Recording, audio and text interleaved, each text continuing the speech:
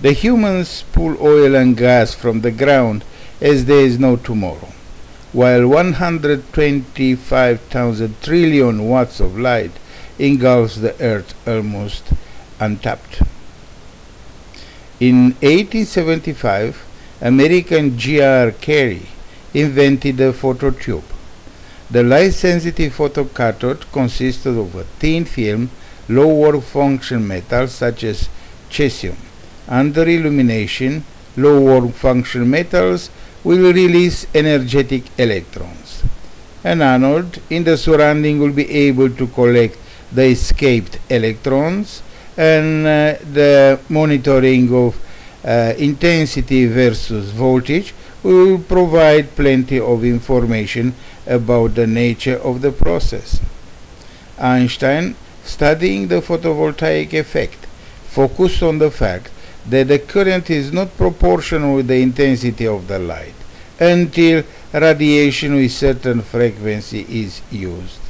In a stroke of genius, as usual, he figured out that light must have corpuscular property and only if a large enough chunk of light hits an atom, the electron will break loose. In 1941, Edmond Becquerel generated a little bit of electricity by illuminating an electrode and electrolytic bath. This was the first reported experiment in uh, photovoltaic effect. However, because the corpuscular nature of light was not yet conceived, an explanation for what happened had to wait almost 100 years.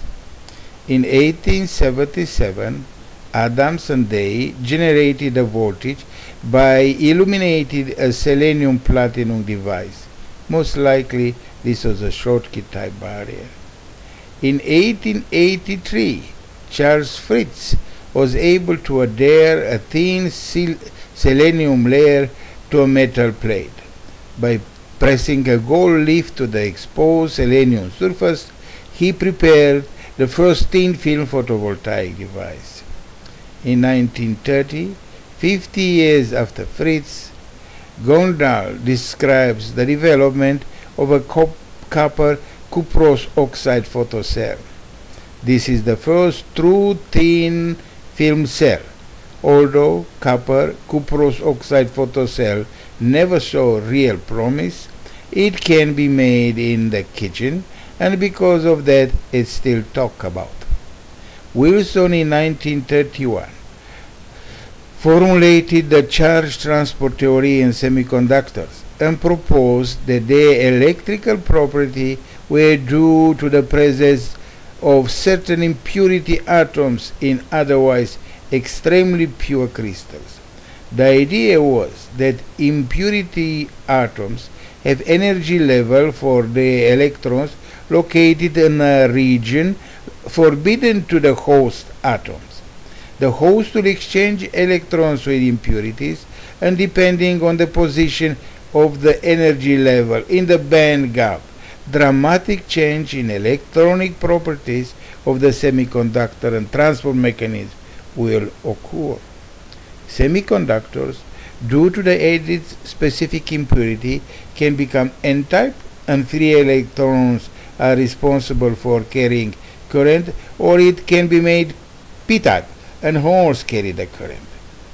In 1938, Schottky suggested that the electrostatic field created by the positive and negative ions at the interface between N and P-type semiconductor materials produce a potential barrier.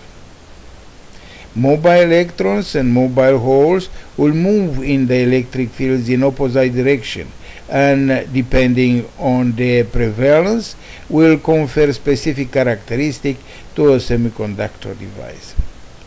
In the thin film solar cell domain, Bergman improved selenium device in the 30s.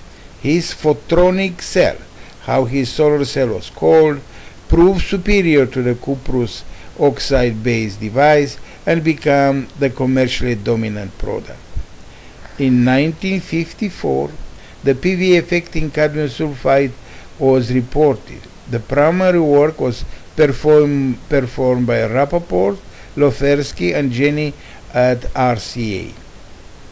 In the 70s, cadmium telluride based and amorphous silicon thin film solar modules start the journey towards large scale application of photovoltaics. Both technology went in full bloom recently.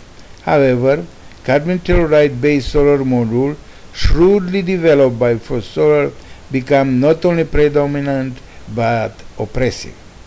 I personally work in developing cadmium telluride based solar module for the last 30 years.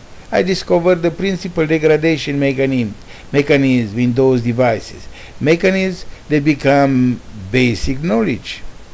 However, I am looking every day through my window to my mothball beloved cadmium telluride based solar module plant and each time I have to say, damn it, why they sucked me. The initial path of development for large-scale application of photovoltaics was wafer silicon-based solar module.